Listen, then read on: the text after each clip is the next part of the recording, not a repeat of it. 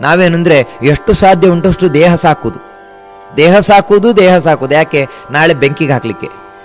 ಇನ್ಯಾವುದಕ್ಕೂ ಅಲ್ಲ. ನಿಜವಾಗಿಯೂ ಕೂಡ ದೇವರಿಗೋಸ್ಕರ ದೇಹವನ್ನು ಹೇಗೆ ನಾವು ಅರ್ಪಣೆ ಮಾಡಬೇಕು ಅಂತ ಗಜೇಂದ್ರ ತೋರಿಸಿಕೊಡ್ತಾನೆ. ಆ ಕಮಲ ಹಿಡ್ಕೊಳ್ತಂತೆ, ಕಟ್ಟಿ ಕೂಗಿತಂತೆ ತಾನು. ದೇವರನ್ನು ನೋಡಿ. ಆದರೆ ಆ ಕೂಗಿನಲ್ಲಿ ಏನು ಅರ್ಥ ಇತ್ತು ಅಂತ ಹೇಳಿದ್ರೆ, ನಾರಾಯಣ, ಅಖಿಲ ಗುರು, ಭಗವನ್ ನಮಸ್ತೆ. ಇದ್ದದ್ದು ಆ ಕಂಠದಲ್ಲಿ. ಓ ದೇವರೇ, ಇಡೀ ಜಗತ್ತಿನ ಒಡೆಯನೇ, ನಿನಗೆ ನಾನು ನಮೋ ನಮಃ ಹೇಳ್ತಾ ಇದ್ದೇನೆ ಅಂತ ಹೇಳಿ ತಾನು ಎತ್ತಿತಂತೆ. ಭಗವಂತ ನೋಡಿ ಈ ಭಕ್ತಿಯನ್ನು ಮೆಚ್ಚುತ್ತಾನೆ. ಭಗವದ್ಗೀತೆಯಲ್ಲಿ ಹೇಳುವುದದೇ, ಪತ್ರಂ ಪುಷ್ಪಂ ಫಲಂ ತೋಯಂ ಯೋಮೆ ಭಕ್ತಿಯ ಪ್ರಯೋಚತಿ ನೀನು ಏನು ಕೊಡ್ತೀಯಾ ಅಂತ ಮುಖ್ಯ ಅಲ್ಲ ನನಗೆ. ಹೇಗೆ ಕೊಡ್ತೀಯಾ ಅನ್ನುವುದು ಮುಖ್ಯ. ಗಜೇಂದ್ರ ಒಂದು ಹೂವಿನಿಂದ ದೇವರನ್ನು ಒಲಿಸ್ಕೊಂಡ ಇನ್ನೇನು? ಅದೇ ರೀತಿ. ಆದರೆ ಆ ಒಂದು ಹೂ ಕೊಡಬೇಕಾದ್ರೆ ಎಷ್ಟು ಭಕ್ತಿ ಇತ್ತು ಅವನಲ್ಲಿ. ಭಗವಂತನಲ್ಲಿ. ಭಗವಂತನಾದರೂ ಕೂಡಲೇ ಬಂದಂತೆ. ಬಂದು ತಾನು ತಂವೀಕ್ಷ್ಯ ಪೀಡಿತಮಜಃ, ಸಹಸಾವತೀರ್ಯ ಸಗ್ರಾಹ ಮಾಶು ಸರಸ ಕೃಪಯೋಜ್ಯಹಾರ, ಗ್ರಾಹಾತ್ ವಿಪಾಟಿತ ಮುಖಾದರಿಣಾ ನಾಗಜೇಂದ್ರಂ, ಸಂಪಶ್ಯತಾಂ ಹರಿರಮೋಮುಚ ದುಶ್ರಿಯಾಣಾಂ ಭಗವಂತ ಕೂಡಲೇ ನೋಡಿದ್ನಂತೆ. ನೋಡಿ, ತಾನು ತನ್ನ ಚಕ್ರವನ್ನು ಬಿಟ್ಟನಂತೆ ಬಿಟ್ಟು ಆ ಮೊಸಳೆಯನ್ನು ತುಂಡು ಮಾಡಿ ಹಾಕಿದ್ನಂತೆ. ಗಜೇಂದ್ರನನ್ನ ತನ್ನ ಅಮೃತಮಯವಾದ ಹಸ್ತದಿಂದ ಸ್ಪರ್ಶ ಮಾಡಿದಂತೆ ಸ್ಪರ್ಶ ಮಾಡಿದ ಕೂಡಲೇ ಆ ಗಜೇಂದ್ರ ಏನು ಪ್ರಾರ್ಥನೆ ಮಾಡಿಕೊಂಡಿದ್ದ? ನಾನು ಮೊಸಳೆಯಿಂದ ಬಿಡಿಸು ಅಂತ ನಿನ್ನನ್ನು ಕೇಳುವುದಲ್ಲ, ಈ ಸಂಸಾರದಿಂದಲೇ ನನ್ನನ್ನು ಬಿಡಿಸು ಅಂತ ಆ ಅನುಗ್ರಹ ಆಗಿತ್ತು. ಎಲ್ಲಿವರೆಗೆ ಅಂದರೆ ನೋಡಿ, ಭಾಗವತ ಬಹಳ ಸ್ಪಷ್ಟ ಹೇಳುತ್ತದೆ. ಆನೆಗೆ ಮಾತ್ರ ಅನುಗ್ರಹ ಆದದ್ದಲ್ಲವಂತೆ, ಆನೆ ಕಾಲಿಡಿದ ಮೊಸಳೆಗೂ ಅನುಗ್ರಹ ಮಾಡಿದ್ನಂತೆ ಭಗವಂತ. ಅದನ್ನು ಕೂಡ ಬಿಡುಗಡೆ, ಯೋಸೋ ಗ್ರಾಹಸ್ಥ ಸದ್ಯ ಪರಮಾಶ್ಚರ್ಯ ರೂಪದೃಕ್ ಮುಕ್ತೋ ದೇವಲ ಶಾಪೇನ ಹೂಹೂ ಗಂಧರ್ವ ತತ್ತಮಃ ಆ ಮೊಸಳೆ ಮತ್ಯಾರು ಅಲ್ಲ, ಹೂಹು ಎನ್ನುವಂತಹ ಗಂಧರ್ವ ದೇವಲರ ಶಾಪದಿಂದಾಗಿ ಮೊಸಳೆ ಆಗಿದ್ದ ಅವನು ಈಗ ಯಾವಾಗ ಭಗವಂತ ಅವನನ್ನು ತುಂಡು ಮಾಡಿದ ಆಶ್ಚರ್ಯಕರವಾದ ರೂಪವನ್ನು ಧರಿಸಿದವನಾಗಿ ಭಗವಂತನಿಗೆ ತಾನು ನಮಸ್ಕಾರ ಮಾಡ್ತಾ ಮೇಲೋದ್ನಂತೆ ನೋಡಿ, ಗಮನಿಸಬೇಕಾದದ್ದು ಯಾವತ್ತು ಭಗವದ್ ಭಕ್ತರ ಪಾದವನ್ನು ಗಟ್ಟಿ ಇಡಬೇಕಂತ ತೆಗೆದು ಒದ್ರು ಬಿಡಬಾರ್ದಂತೆ. ಮೊಸಳೆ ಅದಕ್ಕೆ ಅವನದ್ದೇ ಕಾಲಿಡ್ತದೆ ಗಜೇಂದ್ರನಂತೆ. ಏನು ಮಾಡಿದರೂ ಬಿಡಲಿಲ್ಲ. ಎಷ್ಟೇ ಅವನು ಪ್ರಯತ್ನ ಪಟ್ಟರು ಬಿಡಲೇ ಇಲ್ಲ. ಅದಕ್ಕಾಗಿಯೇ ಭಗವಂತ ಗಜೇಂದ್ರನೊಟ್ಟಿಗೆ ಈ ಮೊಸಳೆಯನ್ನು ಕೂಡ ತಾನು ಮುಕ್ತನನ್ನಾಗಿ ಮಾಡಿದ. ಕಾರಣ ಏನಂದ್ರೆ, ಇದು ಗ, ಭಾಗವತದಲ್ಲಿ ಬರುವುದಿಲ್ಲ, ಬೇರೆ ಪುರಾಣದಲ್ಲಿ ಬರ್ತದೆ. ಏನಂದ್ರೆ ಪದ್ಮ ಪುರಾಣದಲ್ಲಿ ಬರ್ತದೆ. ಏನಂದ್ರೆ, ಈ ಹೂಹು ಗಂಧರ್ವ ಏನಿದ್ದ, ಅವನು ಒಂದು ಆಟ ಆಡ್ತಾ ಇದ್ದಂತೆ ಏನಂದ್ರೆ, ಋಷಿಮುನಿಗಳೆಲ್ಲ ಸ್ನಾನ ಮಾಡಲಿಕ್ಕೆ ಸರೋವರ ನದಿಗೆ ಇಳಿದರೆ ತಾನು ನೀರೊಳಗಿಂದ ಈಜ್ಕೊಂಡು ಬರೋದಂತೆ. ನೀರೊಳಗಿಂದ ಈಜ್ಕೊಂಡು ಬಂದು ಅವ್ರ ಕಾಲಿಡ್ಕೊಂಡ್ಬಿಡೋದಂತೆ ಋಷಿಗಳು ಒಂದು ಸಲ ಹೆದರಿ, ಅಯ್ಯೋ, ಮೊಸಳೆ ಬಂತು ಅಂತ ಮೇಲೆ ಬಂದರೆ ನಂತರ ನೆಗಾಡೋದಂತೆ ನೋಡಿ. ದೇವಲರಿಗೂ ಇದೇ ರೀತಿ ಮಾಡಿದ್ದ.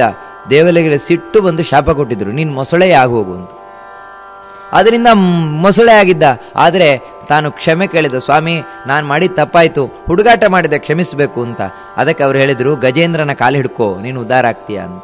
ಹಾಗಾಗಿ ಹಿಡ್ಕೊಂಡವ ಬಿಡಲೇ ಇಲ್ಲ. ಏನು ಮಾಡಿದ್ರು ಬಿಡ್ಲಿಲ್ಲ. ಯೋಚನೆ ಮಾಡಿ. ಯಾವುದೇ ಮೊಸಳೆ ಆದರೂ ಒಂದೇ ಆನೆನ ಒಂದ್ ಸಾವಿರ ಎರಡು ವರ್ಷ ಹಿಡ್ಕೊಂಡು ಕೂರ್ತದ. ಯಾಕಂದ್ರೆ ಅದಕ್ಕೂ ದುರ್ಬಲ ಆಗುದಿಲ್ವಾ? ಒಂದು ಆನೆಗೆಲ್ಲ ಎಷ್ಟಿರ್ಲಿಕ್ಕೆ ಸಾಧ್ಯ? ನಾಲ್ಕು ದಿನ ಹಿಡ್ಕೊಳ್ತದೆ, ಅದನ್ನು ಬಿಟ್ಟು ಇನ್ನೊಂದು ಆನೆ ಹಿಡ್ಕೊಳ್ಳಿಕ್ಕೆ ಹೋಗ್ತದೆ. ಆದರೆ ಈ ಮೊಸಳೆ ಮಾತ್ರ ಒಂದು ಸಾವಿರ ವರ್ಷ ಏನು ಮಾಡಿದರೂ ಬಿಡಲಿಲ್ಲ. ಯಾಕಂದರೆ ಬೇಕು ಅಂತಲೇ ಬಿಡಲಿಲ್ಲ. ದೇವರ ಭಕ್ತರ ಕಾಲು ಯಾವತ್ತೂ ಬಿಡಬಾರದು. ಭಗವಂತನನ್ನು ನಮಗೆ ಸಾಕ್ಷಾತ್ತಾಗಿ ನೋಡ್ಲಿಕ್ಕೆ ಸಾಧ್ಯ ಆಗದೇ ಇದ್ರೂ ಕೂಡ ಭಗವಂತನನ್ನು ನಮಗೆ ನೋಡ್ಲಿಕ್ಕೆ ಸಾಧ್ಯ ಆಗೋದು ಭಕ್ತರ ಮೂಲಕ.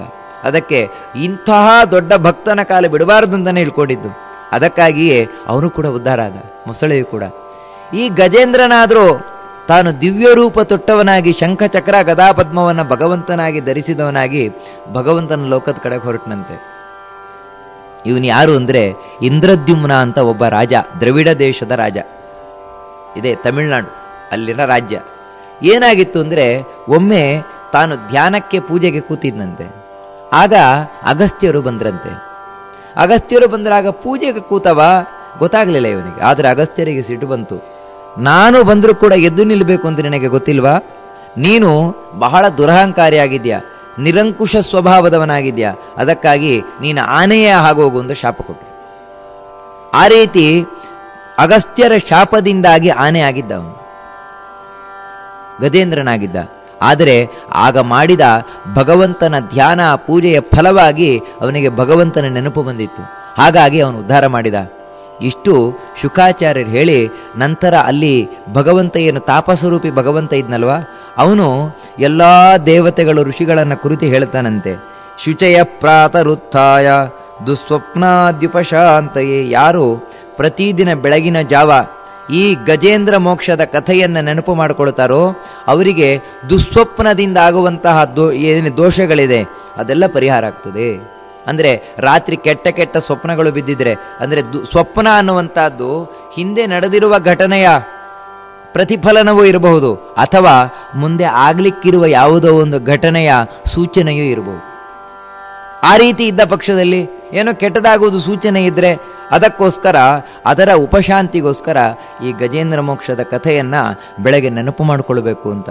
ಅದಕ್ಕೆ ಬೆಳಗ್ಗೆ ಇದು ಹಿಂದಿನವರು ಹೇಳ್ತಾ ಇದ್ರು ಅಂತಃಸರಸ್ತಿರುಬಲೇನ ಪದೇ ಗೃಹೀತು, ಗ್ರಾಹೇಣ ಯೂಥ ಪದಿರಂಬುಜ ಹಸ್ತ ಆರ್ತಃ ಆಹೇದಮಾದಿ ಪುರುಷಾಖಿಲ ಲೋಕನಾಥ ತೀರ್ಥಶ್ರವ ಶ್ರವಣ ಮಂಗಲ ನಾಮಧೇಯ ಸ್ಮೃತ್ವಾ ಚಕ್ರಾಯುಧ ಪದಗರಾಜ ಭುಜಾಧಿರೂಢ ಚಕ್ರೇಣ ನಕ್ರವದನಂ ವಿನಿಪಾಡ್ಯ ತಸ್ಮಾತ್ ಹಸ್ತೆ ಪ್ರಗೃಹ್ಯ ಭಗವಾನ್ ಪ್ರಯೋಜ್ಯಹಾರ ಇದನ್ನ ಪ್ರತಿದಿನ ಬೆಳಗ್ಗೆ ಹೇಳ್ತಾ ಇದ್ರು. ಇಷ್ಟು ಮಾತ್ರ ಅಲ್ಲ, ಎಲ್ಲ ನದಿಗಳ ಸ್ಮರಣೆ, ಎಲ್ಲ ಪರ್ವತಗಳ ಸ್ಮರಣೆ, ಎಲ್ಲ ದೇವತೆಗಳ ಸ್ಮರಣೆ, ಇದೆಲ್ಲ ಬೆಳಗಿನ ಜಾವ ಮಾಡುವಂಥದ್ದು ಬಹಳ ಮಂಗಳಕರವಾದದ್ದು ಅಂತ ಭಗವಂತ ತಾನು ಹೇಳಿ ಹೊರಟು ಹೋಗ್ತಾನೆ ಹೀಗೆ ಶುಕಾಚಾರ್ಯರು ತಾಪಸ ಮನ್ವಂತರದಲ್ಲಿ ನಡೆದಂತಹ ಒಂದು ವಿಶೇಷವಾದ ಘಟನೆ, ಗಜೇಂದ್ರ ಮೋಕ್ಷ. ಅದನ್ನು ತಿಳಿಸಿದವರಾಗ ಅಂದರೆ ಭಗವಂತ ಮನುಷ್ಯರಿಗೆ ಮಾತ್ರ ಅಲ್ಲ, ಒಂದು ಪ್ರಾಣಿಯೂ ಕೂಡ ಮೋಕ್ಷವನ್ನು ಕೊಟ್ಟ ಅಂತ ಕಥೆಯನ್ನು ತಿಳಿಸ್ತಾ ಮುಂದೆ ಐದನೆಯ ಮನ್ವಂತರ, ರೈವತ ಮನ್ವಂತರ. ಈ ರೈವತ ಮನ್ವಂತರದಲ್ಲಿ ಆದಂತಹ ಅಂಥದ್ದೇನು ವಿಶೇಷ ಹೇಳುವುದಿಲ್ಲ, ಆದರೆ ವಿಶೇಷವಾಗಿ ಭಗವಂತ ಒಂದು ಅವತಾರ ಮಾಡಿ ಬಂದಂತೆ ಅಲ್ಲಿ. ಯಾವ ಅವತಾರ ಅಂದರೆ ಆ ಅವತಾರಕ್ಕೆ ಹೆಸರು ವೈಕುಂಠ ಅಂತ. ವಿಕುಂಠ ದೇವಿಯಲ್ಲಿ ಭಗವಂತ ತಾನು ಅವತಾರ ಮಾಡಿ ಬಂದ. ಆ ರೂಪಕ್ಕೆ ವೈಕುಂಠ ಅಂತ ಹೆಸರು. ಇವನಿಂದಲೇ ನಿರ್ಮುಂಟ, ನಿರ್ಮಾಣವಾದದ್ದು ವೈಕುಂಠ ಲೋಕ ಅಂತ ಹೇಳ್ತಾರೆ. ನಂತರ ತಯೋ ಸ್ವಕಲಯ ಜಜ್ಞೆ ವೈಕುಂಠೋ ಭಗವಾನ್ ಸ್ವಯಂ. ನಂತರ ಆರನೆಯ ಮನ್ವಂತರ, ಚಾಕ್ಷುಷ ಮನ್ವಂತರ. ಅಂತ ಹೇಳಿದ್ರೆ, ನಾವಿವಾಗ ಯಾವ ಮನ್ವಂತರದಲ್ಲಿದ್ದೇವೆ? ಇದರ ಹಿಂದಿನ ಮನ್ವಂತರ, ಚಾಕ್ಷುಷ ಮನ್ವಂತರ.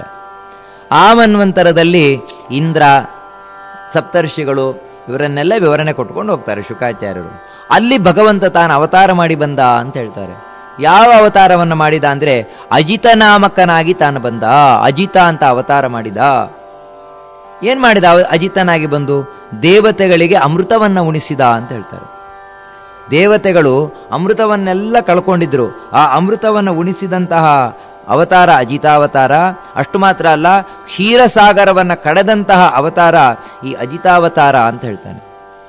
ಆಗ ಪರೀಕ್ಷಿತ ಕೇಳ್ತಾನೆ, ಹೌದಾ? ಹಾಗಿದ್ರೆ ಆ ಕ್ಷೀರಸಾಗರವನ್ನು ಯಾವ ರೀತಿ ಕಡಿದ್ರು ಅದನ್ನು ನಮಗೊಂಚೂರು ತಿಳಿಸಿಕೊಡಬೇಕು ಅಂತ ಹೇಳಿದಾಗ ಕ್ಷೀರಸಾಗರ ಮಥನದ ಕಥೆಯನ್ನು ಶುಕಾಚಾರ್ಯರು ತಿಳಿಸ್ಕೊಂಡು ಹೋಗ್ತಾರೆ.